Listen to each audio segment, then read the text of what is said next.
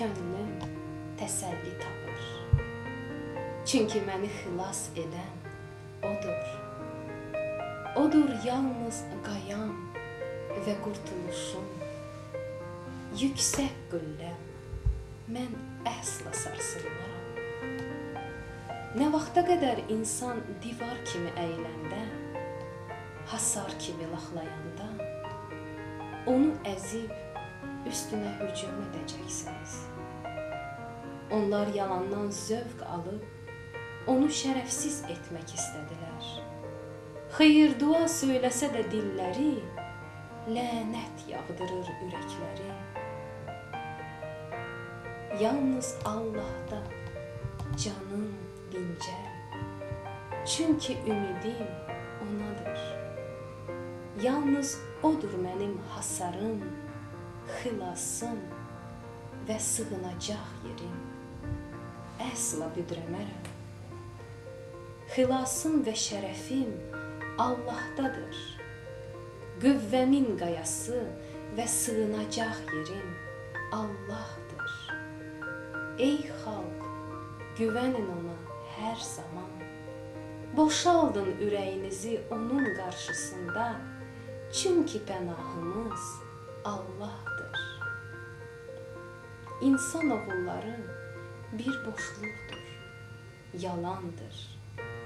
Əgər onları tərəziyə qoysan, boşluqdan da yüngül gələrlər. Zorakılığa güvənmə heç zaman. Qalan malına boş ümid bağlama. Var dövlətin artsa belə bel bağlama. Allah bir dəfə dedi və eşitdim mən bunu iki dəfə. Qüdrət Allahdadır. Ey Xudavənd, sənindir mərhəmət. Hər kəsə əməllərinə görə verirsən. Amin.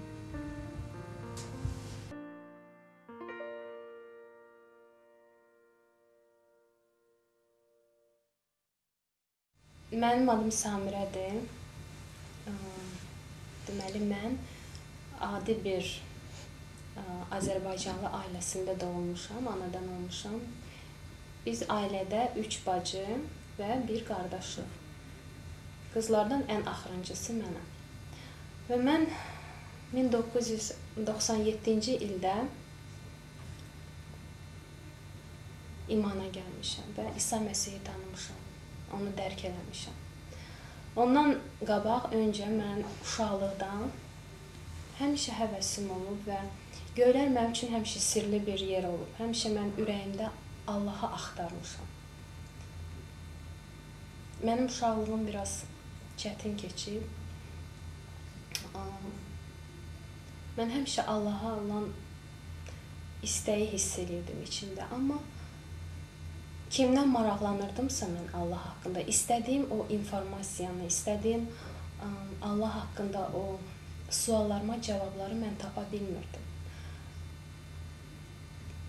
Allah haqqında sual mən verəndə adətən bizdə yaşlı adamlar çox Allahdan danışırdılar və yaxud mollalarımız olurdu. Onlardan mən soruşardım ki, Allah haqqında məlumatım olsun. Amma mən çox vaxt cəhənnəm haqqında eşidirdim və bu məni çox qorxudurdu. Mən düşünürdüm ki, mən Allahın yanına heç vaxt düşə bilmərəm, çünki özümü doğrudan günahkar hesab eləyirdim. Mən dərk eləmişdim ki, Allaha çatan insan gərək çox təmiz bir insan olsun. Nəysə, istədiyim cavabları mən tapa bilmirdim həyatda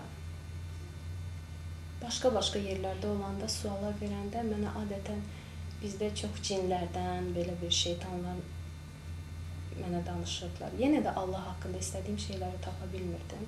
Bir şey bilirdim ki, əməllər pis olanda insan qır qazanı var, hardasa biz onun üzərindən keçəndə qır qazanına düşüb yanırsan. Yəni görə o dərəcədə sən təmiz olarsan və düşünürdüm ki, mən heç vaxt ora necə düşə bilərəm də.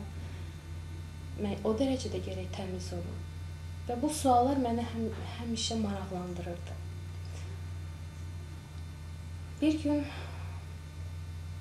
mən ə, bir hadisə, həyatımda olan hadisə. Bu 1996-cı ildə oldu. Mənim həyatımda daha bu suala ə, maraq oyatdı mənim üçün. Yəni Allah doğrudan da kimdir? Bir hadisə olmuşdu. Biz ailəlicə yığılıb dənizə getmişdik və dənizdə mən batırdım, burulğana düşmüşdüm. Mən suyun içində olanda mənim qardaşım mənim çiynimin üzərində idi və o mən batırırdı suyun içinə. Çox çətin bir an idi. Mən özüm çox yaxşı üzə bilmirdim. Amma ayağım torpağa dəydikcə mən görürdüm mən daha dərinliyə gedirəm. Və arada bir neçə dəfə olmuşdu mən qalxıb suyun üzərində görmüşdüm çox insanlar dayanıb, amma heç kim kömək üçün yaxına gəlmir. Öz özümdə e, sual yarandı ki, niyə görə insanlar bu qədər qəddardılar? Məgər heç kim kömək etmək istəmir mənə? Suyun içində mən hiss edirdim, söhbət eləyirəm. Özüm üçün çox möcüzəli idi ki, mən danışıram qardaşımla. Və ağzımdan çıxan o köpükləri görürəm. Elə bir balıq idim. Yəni mənim qarnım dolmurdu suyla. Mən boğulmurdum. Amma suyun içində mən danışa bilirdim. Ki məni buraxsın, məni boğmasın, qardaşım. Və birdən bir sual yarandı məndə ki, mən indi ölsəm mən hara düşəcəyəm? Bu sual məndə yarananda məndə böyük bir qorxu yarandı və mən başladım mübarizə aparmağa suyun içində. Mən mübarizə aparanda hiss elədim ki, kiminsə əli mənim kürəyimdədir, suyun altında. Və o əli hiss eləyirdim ki, o məni yavaş-yavaş qaldırır. Və bir səs eşitdim ki, qurtardım.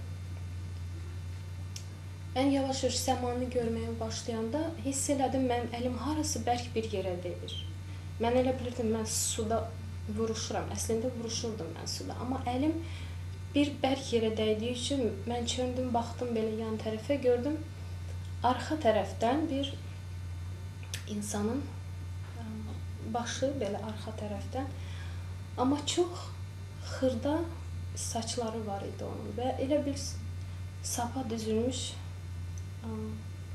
ağ və gümüşü rəngli saç idi. Çox qısa, çox qısa idi və Mən onun üzünü görmədim və çox enli bir kürəkli bir insan idi o. Enli kürəkli belə bir insan idi, amma mən onu arxadan gördüm. Yəni mən onun üzünü görmədim. Bir anda gördüm mən suyun içində, dizə qədər suyun içindəyəm. Üzüm insanlaradır. Arxam isə dənizədir. Və mən sual verdim. Mən gördüm ki, mən şokda deyiləm hər şey yerindədir, ürəyim bulanmır, sudan çıxmışam ki, çox maraqlı gəldi mənə. Sual verdim, bəs hanı məni xilas edən insan? Mən döndüm belə baxım dəniz tərəfi, mən onu görmürdüm, heç kim yox idi. Amma hamı insanlar çaşıb mənə baxırdılar. Və mən onda başa düşdüm ki, onlar onu görməyiblər. Bu bu yandan 2 dənə bizim xilas edənlər qaça-qaça gəldilər və hərəsi bir ayağımdan yapışdılar ki, məni dizə qədər olan sudan çıxartsınlar. Mən də dedim, siz mənə toxunmayın, mən yaxşı özümü hiss edirəm. Yəni bu hadisə olandan sonra 96-cı ildə təbii ki, ata-baba indi ə, deməli adəti ilə məni apardılar, çıldaq elədilər. Bizdə qorxunu deməli götürmək üçün çıldaq eləyib yandırırlar insanların bədəninə toxun yapışdırırlar, qorxu çıxsın. Yəni məni ora apardılar. Bir çox şeylərdən keçdim, ancaq ürəyimdə olan o sual daha belə möhkəm oldu ki, axı mən öləndən sonra mən hara gedəcəm? Bundan sonra mənim bir dayım oğlu var, o Yahova şahididir. O bizə gəldi və mənə dedi ki, sən inanırsan, axır günləri yaşayırıq biz, axirət günləridir. Mən də razılaşdım dedim, bəli, çünki mən həmişə uşaqlıqdan eşidirdim ki, 2000-ci ildə axır günlər olmalıdır. Axirət olmalıdır. Və mən inandım. Deyirəm, bəli, mən inanıram ki, belə şey olacaq. Çünki mən həmişə eşitmişəm o şeyləri.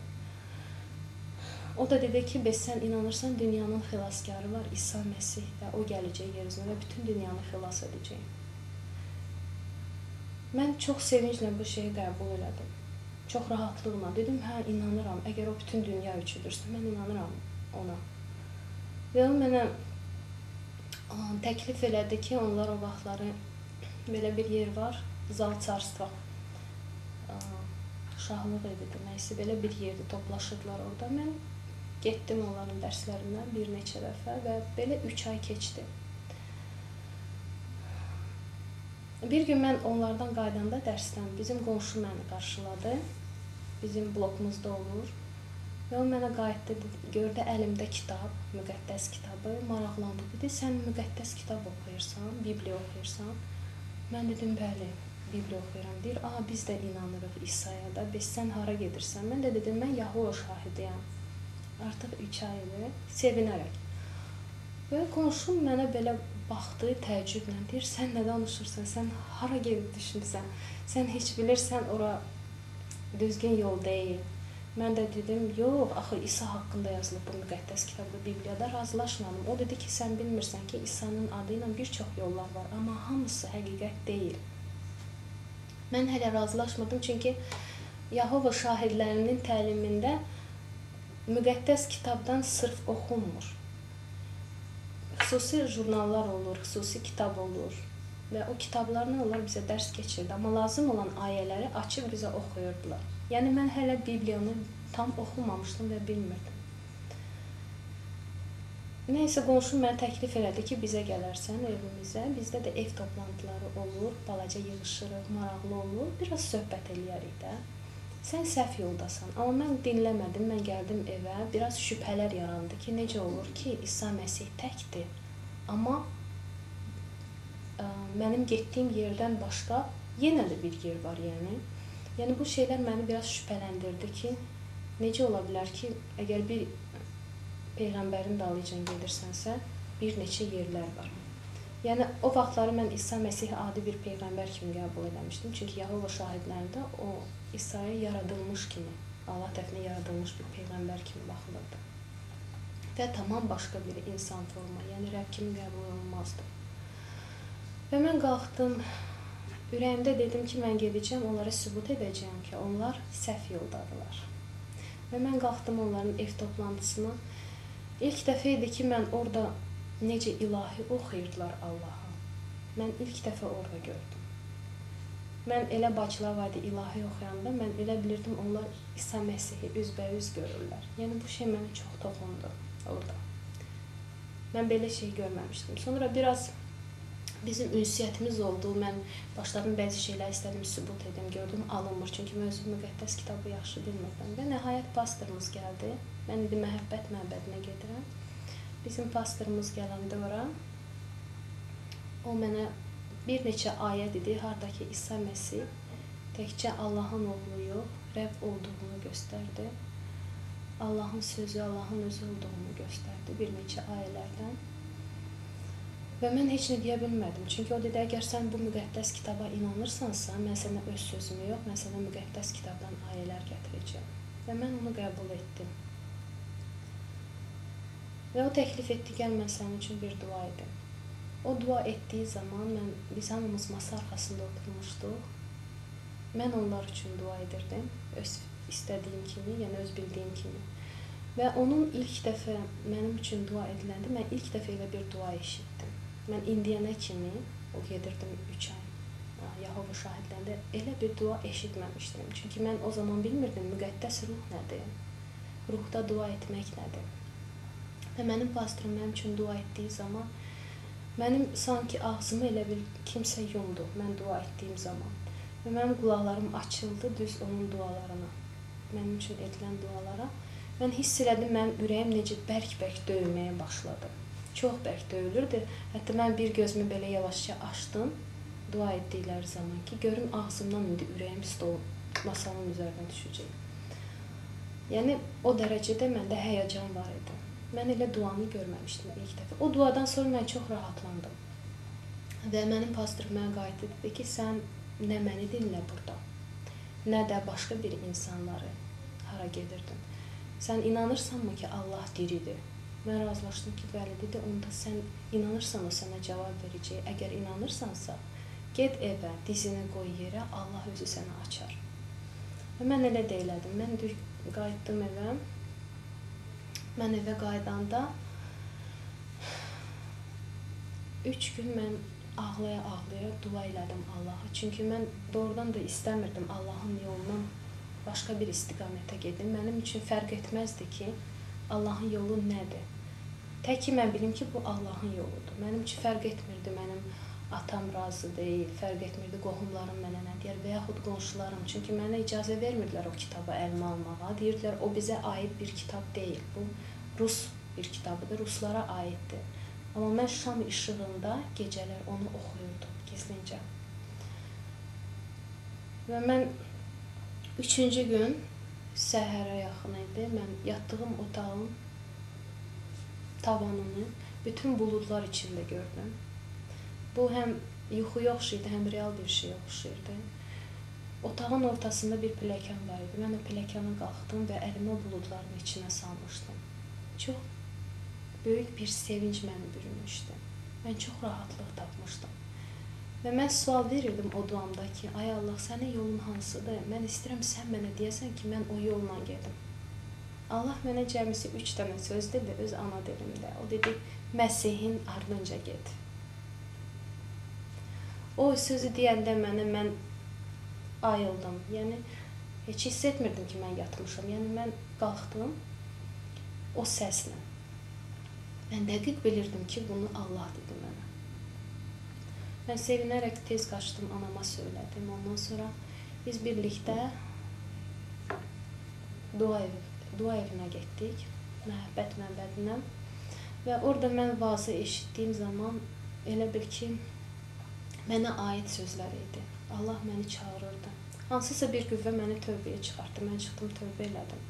O gündən mən evə hətta gələndə hiss eləmirdim ayağımın altında yer var, mən gəzirəm. Elə bilirdim məni nəsə bir şey belə qaldırıb aparır sevinclə. Ondan sonra mənim həyatım çox dəyişdi. Çox dəyişdi. Rəbb məni tamamilə demək olar ki, 90% çevirdi. Doğrudan, yəni mən qabaq çox rahatlıqla yalan danışırdım, çox ə, e, necə deyim, mühakimə edə bilərdim insanları, razılaşmaya bilərdim. Çox böyük qürurum var idi. Amma mən İsa'nı dərk eləyəndə bu mənim həyatımı elə başladı dəyişməyə yavaş-yavaş. Mən elə bil ki, qaranlıqda idim və birdən-birə işığa çıxdım. Elə bil üzərimdən bir örtüyü götürürdü. O bütün qaranlıqlar elə bil yavaş-yavaş, yavaş-yavaş seyrəldi və çıxdı, getdi. Mən artıq nura çıxdım və mən işıqla başladım hər şeyi dərk eləməyə həyatda. Və bəzi mənim sınaqlarım olurdu dünyanı. Mən hələ tam dərk eləməmişdim Allah yolunu. Mən eşidəndə ki Allahı hiss etdilər vaz vaxtı və yaxud Allahın huzurunu hiss elədilər. Mənim ürəyimdə şübhələr var idi ki, necə olur ki, mən də inanıram, məndə elə şeylər heç baş vermir. Amma bir gün mən oturduğum yerdə, dua evində, məbəddə vaz vaxtı bu olmuşdu. Mən eşitmişdim bir qardaş yaxınlaşıb demişdi ki, bizim pastorumuza ki, bəs mən Allahın huzurunu burada hiss elədim. Bulud topası kimi kafedranın üzərində idi. Mən onu eşitdim, ancaq heç kimə demədim, içimdə mənim şübhə yarandı. Necə olur ki, mən də inanıram da İsa'ya. Amma necə olur ki, mən o şeyləri görmür, görmürəm. Və bu şeydən sonra üstündən bir həftə keçmişdi. Mən toplantıda oturduğum zaman vaaz etdirdi bizim pastorumuz birdən-birə hiss elədim ki, bağlı bir otaq kimi bir yerdir. Yəni orada gördüm havada öz-özündən başladı balaca bir belə nəsə duman kimi nəsə bir şey yarandı havada. Və o duman yarandıqca get-gedə, get-gedə böyüdü. Böyüdü, iki hissiyə bölündü. Yarı hissəsi tutdu pastorun. Elə bil o e, dumanın arxasında qaldı. Və yarı hissə mənim bacılarım otur oturduğu yeri tutmuşdu belə. Sanki bir ört, iki tərəfli örtü idi. Duman, çox narın bir duman kimi belə bir şey var idi. Mən hiss elədim Allahın huzuru ordadır. Özümdən asılı olmadı dedim, ya Rəbb, mən inanıram sən burdasan. Mən bunu deyəndən sonra elə bil mənim ağzımın ağzımla kimsə dedi. Mən bunu deyəndən sonra o dumanlıq yenidən başladı yavaş-yavaş yavaş-yavaş seyrəlməyə və Həmən o nöqtələr oldu, çıxdı, getdi. Mən birinci başa düşmədim bu nədir, amma özümdən asılı deyil idi. Böyük bir sevincim var idi və ağlamaq tutmuşdu məni. Ondan sonra mən yaxınlaşdım, soruşdum orada pastordan ki, biz belə bir şey görmüşdüm. Bilmirəm mənə görünüb yoxsa görmüşəm. Dedi, yox sən görmüsən, amma o şübhələrdir insan kimi adamı bürüyür. Yəni mən doğrudan da o şeyləri görmüşdüm və mənim çox çətin günlərimdə çox sınaqlı bir vaxtlarımda bu şeyləri Allah mənim yadıma salırdı da mən yıxılmayım. Mən bu dünyaya qalib gələ bilim. Bu şeylər çox mənə kömək eləmişdi. Mən bəzən utanıram ki, mən Allah bəzi şeylərlə sınağa çəkirdim. Ancaq mən indi çox şey başa düşürəm ki, həyatımda o qədər şeylərdən keçirdi Allah mənə, o qədər möcüzələrlə mənə bəzi hansısa bir hadisələrdən çıxardı. O məni necə azad eləyib bir çox şeylərdə, bir çox xəstəliklərdə. Mən minnətdaram Allaha ki, o mənim həyatımı belə dəyişib və bu gün mən onun balası adlanıram. Mən ona ata deyə deyib müraciət edə bilirəm. O o qədər yaxın olub ki mənə, mən heç bilməzdim ki, Allaha o qədər yaxın olmaq olar. Uşaqlıqdan axtardığım o Allaha olan o sevgini çox axtarırdım ki, mən dərk edim və Allahla bir ola bilim. Yəni onunla ünsiyyətim sıx olsun. Mən minnətdaram ki, onu İsa Məsih İsa Məsihdə oldu. O mənim üçün hər şeydir. O mənim həyatımın indi mənasıdır. Mən minnətdaram ki, o mənim atamdır və mən onun balası adlanıram.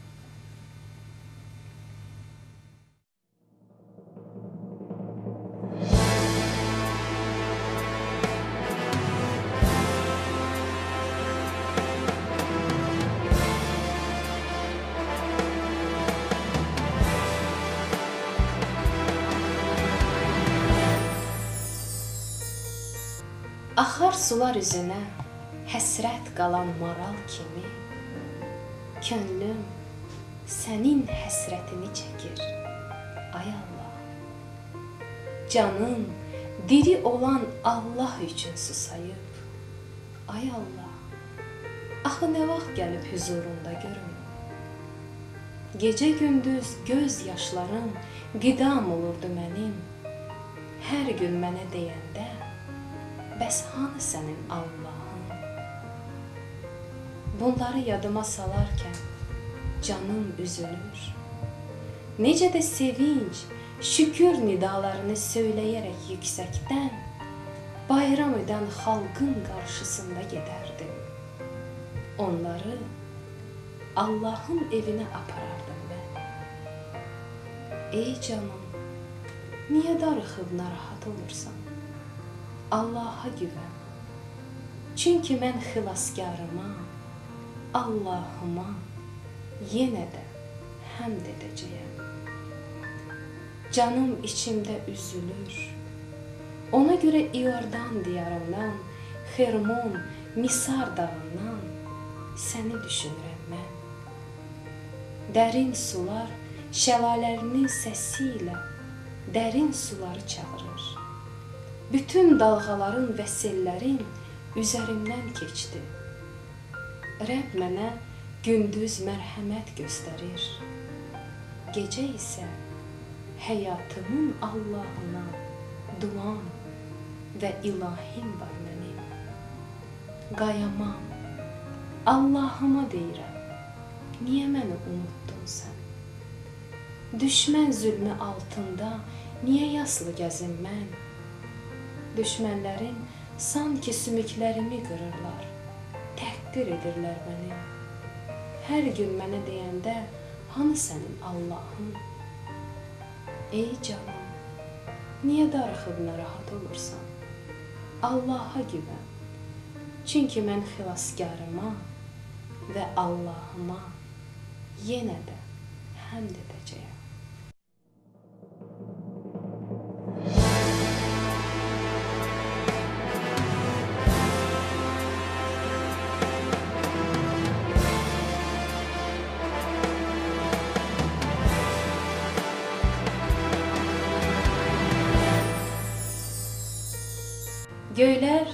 Allahın əzəmətini bəyan edir. Göy qübbəsi əllərinin işini elan edir. Hər gün ertəsi günə nəql edir. Hər gecə o biri gecəyə bilik verir. Onların nə nitqi, nə də sözləri var. Onların səsləri eşidilmir. Amma avazları bütün dünyaya yayılar. Sözləri yerin ucqarlarına çatır. Allah günəş üçün göylərdə çadır qurur. Günəş gərdəyindən bəy kimi çıxır. Qaçışa çıxan bir igid kimi şad olur. Bir tərəfdən çıxır, göylərdə dövrə vurur. Heç nə istisindən gizlənə bilmir. Rəbbin qanunu kamildir. Canı təzələyir. Rəbbin öyüdü etibarlıdır. Nadanı müdrik edir. Rəbbin qayda qanunları düzdür. Ürəyi sevindirir. Rəbbin əmrləri pakdır gözləri aydın edir. Rəbb qorxusu safdır, əbədi yaşayır. Rəbbin hökmləri haqqdır. Hamısı ədalətlidir. Onlar qızıldan, bol miqdarda olan saf qızıldan da çox sevilir. Onlar baldan, şanı balından da şirindir. Bəndən bunlardan nəsihət alar. Onlara əməl edənin bol mükafatı var. Kim öz səhvlərini duya bilər? Məni gizli təqsirlərimdən qurtar. Qulunu aşkar günahlardan qoru. Qoyma onların hökmü altında qalım. Onda kamilliyə çataram. Bütün asiliklərdən ayrılaram. Ya Rəbb Ağzımdan çıxan sözlər, qəlbimdəki düşüncələr huzurunda qəbul olunsun. Ya Rəbb, mənim qayam ve satın alan insan.